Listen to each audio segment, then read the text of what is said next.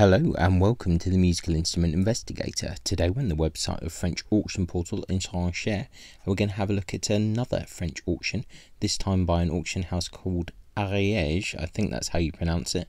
Not 100% sure, but I do like to get this uh, wrong quite a lot, so do let me know if I've messed that up. Anyway, this French auction, uh, it is due to finish on November the 18th. It's the 16th today, so a couple of days left to go. 22% is the buyer's premium, so that's what you pay on top. Uh, a real mixture of things, uh, 102 lots, actually quite a lot of brass stuff. I think this is someone's collection of instruments that's being sold off, so it's pretty random. Uh, we'll have a look and see what we've got. Probably nothing too crazy, but you never know, as I always say. Um, so this is a French auction, so bear that in mind if you're looking to bid. Um, shipping, import, export, all of these kind of fees, maybe CITES restrictions as well.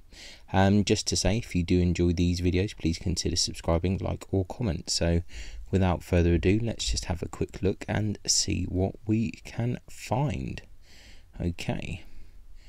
First of all, we have a four piston sax horn from Couesnon and C.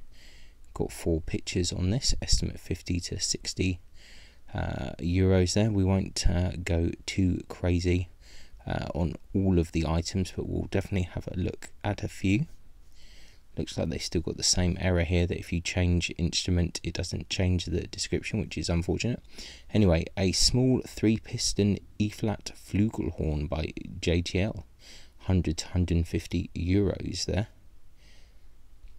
What else do we have? A Courtois three piston French horn, 50 to 60. I think a lot of this stuff is probably not really usable, to be honest, for a musician, but uh, might look good in a, an antique shop or a barn or something. Two piston bugle by P.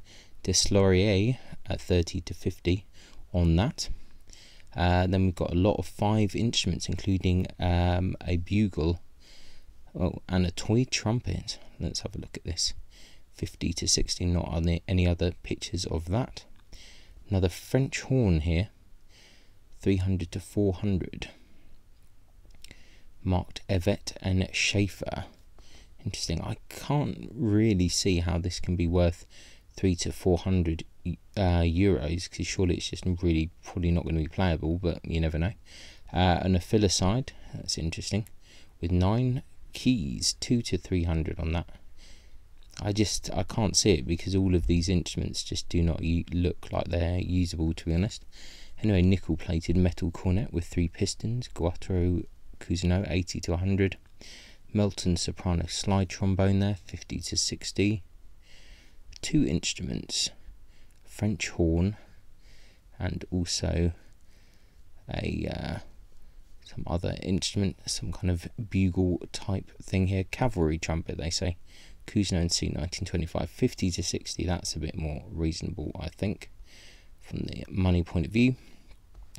A lot of three instruments here saxophone, alto saxophone, saxophone, etc. Anonymous B flat tenor saxophone, they're 80 to 100 with kind of uh, deformations, as they say. Baritone saxophone, a saxophone in E flat by Evette and Schaeffer. 100 to 150. Uh, alto saxophone there, E flat by Rollet. A lot of five instruments again, flugelhorns and stuff. Genuine B flat tenor saxophone, 100 to 200 there. Okay, looks in a bit better condition than the other stuff. Sax horn here. So definitely someone liked brass, I think. Baritone sax horn here, 100 to 150. If anyone does watch this video who likes brass, please do let me know if any of these things are probably playable or usable or not, because I do have my doubts. Baritone sax, uh, sax horn here, 50 to 60. Four piston bass sax horn. B flat soprano sax royal artist. 50 to 60 on that. Uh, three piston double bass sax horn, cavalry trombone. We see these occasionally. Tenor saxophone there. A lot of six instruments, including horns and hunting horns. Okay, 50 to 60. That's kind of an okay little lot. That's kind of quite sweet. lot of three cornets. These looking a bit of a ropey condition. A brass Nafir. Okay, interesting. Maghreb, 20th century, 50 to 60. Pocket trumpet, this is pretty cool actually. Mark of Besson and Co. Mouthpiece is missing, that's pretty cool. Silver finish B flat bass saxophone there, Evette and Schaeffer. A lot of Evette and Schaeffer things in this auction. Wow, 1500 to 2000. I mean, yeah, interesting. I presume this is probably really rare or something. It's quite a high estimate. A lot of three instruments, some kind of trumpets, flugelhorn, etc. 80 to 100. So brass is not really something I know much about, so maybe some of this stuff is valuable. French horn and looks like a sax horn there. Pretty bad condition, 80 to 100. Two instruments there, French horns. And a lot of two instruments, three piston trumpet. Something else there as well. Sax horns, more sax horns let's see, bugle from Couesnon and a flugelhorn. Interesting. Let's see, Hilari three piston double bass saxophone, Yamaha slide trombone, baritone saxophone in E flat there, bass sax horn with four blades, four keys, a ophicleide again there, three to four hundred, by Martin Elder Son in Toulouse. Looks in probably a little bit better condition than the other one. Sax horn there and some other instrument there. Flugelhorn. Double bass sax horn there. Trumpet there. Hunting horn by Chantilly 50 to 60 that's quite nice. Quite like those. Two instruments. Sax horn, etc. Ah, Helicon, 50 to 80. Once again, looking in pretty bad condition there. Nickel plated metal trumpet. That's kind of curious.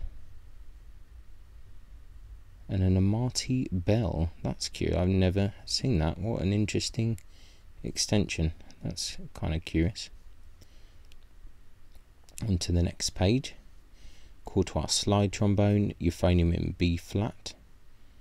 Oh, double or duplex horn. Yeah, there's some pretty odd things here. 800 to 1000 euros. Inscription, patent 1886. Yeah, that's kind of curious. I've not seen one like that before, so that is quite interesting. York sousaphone, 3 to 400 just in everything is in really bad condition. I just can't see how they usable really.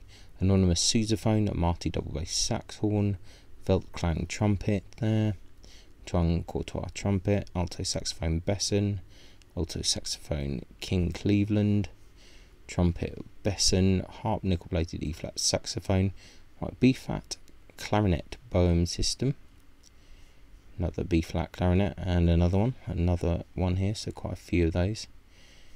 Echo chromatic uh, bandoneon there, diatonic accordion, Hohner accordion there, and a cock chromatic accordion, troubadour, a few other ones here, nothing too crazy. Eight string flat back mandolin, that's pretty normal, standard, standard banjo mandolin there. Another mandolin and some kind of banjo uh, mandolin type thing.